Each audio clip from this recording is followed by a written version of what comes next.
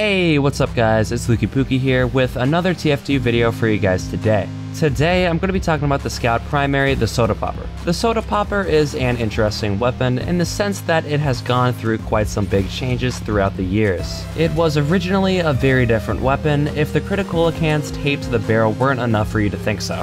The main purpose of the Soda Popper has grown to be mobility, similar to the Babyface Blaster, but it prioritizes jumping instead of run speed.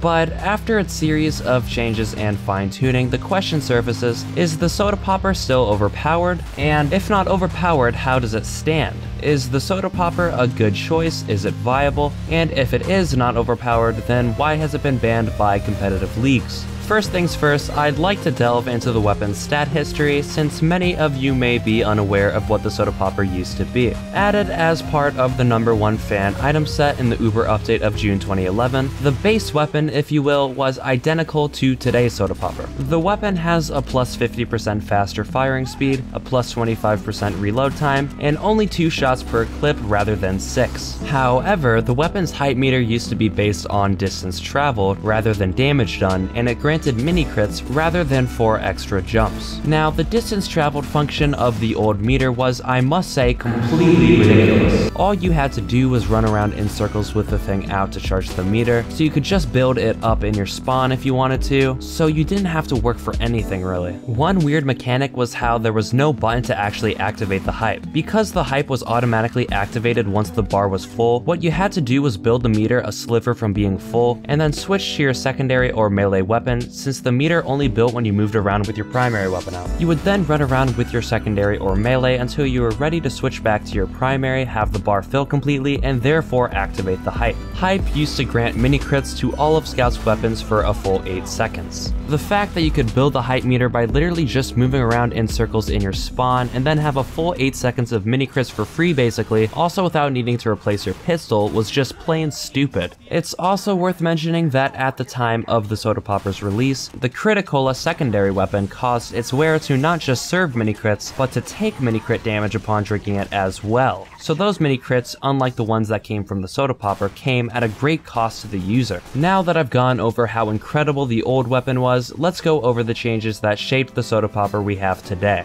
Following a December 20th, 2013 patch, the Soda Popper's hype meter no longer granted mini crits, instead granting 4 extra air jumps when active. In addition, it was buffed in the sense that you could now activate hype by the press of a button, rather than needing to run around with your secondary or melee out until you wanted to switch back to the Soda Popper to activate it. This way you could still engage in fights with your primary when the bar was full without automatically activating the hype by doing so. Another small patch two months later removed the no random critical hits penalty since the weapon now had no crit bonus functions. It was not until the Meet Your Match update back in July of 2016, almost a year ago as of making this video, that Valve finally made the hype meter based on damage you do to enemies rather than distance traveled. Finally, you couldn't build hype by just running around in circles in your spawn.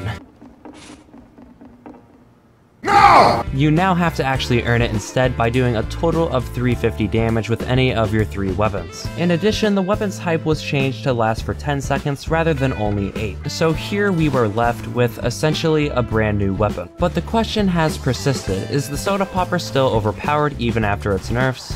I find that today's Soda Popper is still a powerful weapon. UGC and ESEA, amongst other leagues, have it banned from play. It's basically like the Force of Nature minus the knockback and a tad of damage, but with a bonus hype mode ability. The Soda Popper does the same exact damage as the stock, but as mentioned earlier, fires 50% faster and has a clip size of only 2 shots. This can be a great thing for taking out other scouts and other low max health classes if you can land shots consistently. For unaware enemies, similar to the Force of Nature, you can often take someone out before they even react to you, assuming 150 to 200 damage is enough to get the job done. I find the base base weapon's weak spots are heavies, overhealed soldiers, or just anyone overhealed past the point where two shots will not kill them.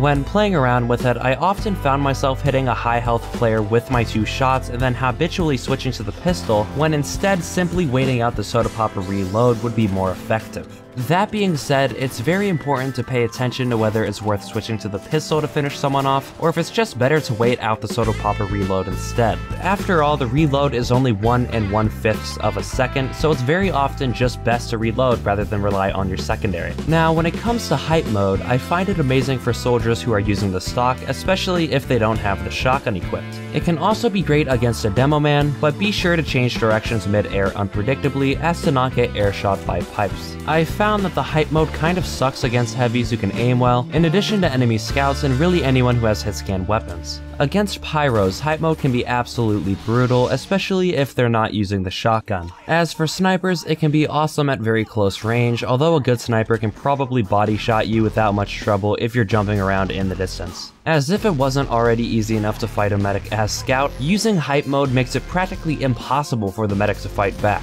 The hype mode can also function as a great escape method and for getting up to high places quickly obviously. So are the soda popper bans justified? After playing around with the thing and playing against it, I would say yes. In 6s, it's banned for the same reason as the Atomizer. It gives Scout an unfair edge against soldiers and demos with its hype mode. In my opinion, however, I wouldn't say the Soda Popper is outright overpowered for casual play most of the time. It's a bit cheap and frustrating to fight against at times, but when you're using it against a team that has more than one heavy, which I run into quite often on pubs, I feel that the scattergun is actually a better option. But in Highlander and strictly structured 6s on the other hand, the Soda Popper is quite a headache. In my opinion, the Soda Popper should either be nerfed for purely the sake of competitive play if that's what Valve views as appropriate, or it should simply remain banned and unchanged, only allowed in pubs where it's not very overpowered. Heavies easily counter the Soda Popper, although in 6s where there are no heavies for a huge majority of the time, and in Highlander where there's only one heavy, the Soda Popper is a problem. Let me know in the comments if you agree with me on the Soda Popper or if you feel otherwise. If you're new to my channel, subscribe for more TF2 content like this, and check out my other uploads if you'd like, such as the video I just did analyzing the proposed scout nerfs and Valve's recent blog post.